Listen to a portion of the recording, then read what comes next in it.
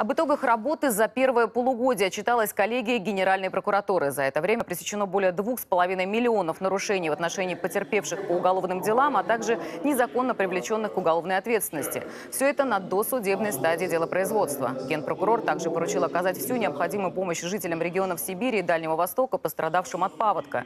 А еще прокуроры добились погашения крупных задолженностей по зарплате. Свои деньги наконец-то получили сотни работников. Суммы миллиардные. Благодаря вмешательству органов прокуратуры погашена задолженность по заработной плате перед почти 300 тысячами работников в размере 10 миллиардов рублей. Активно используясь полномочия по защите социально уязвимых категорий населения, по требованию прокуроров получили квартиры 6 тысяч сирот. Оказана поддержка 9,5 тысячам подросткам, находившимся в социально опасном положении.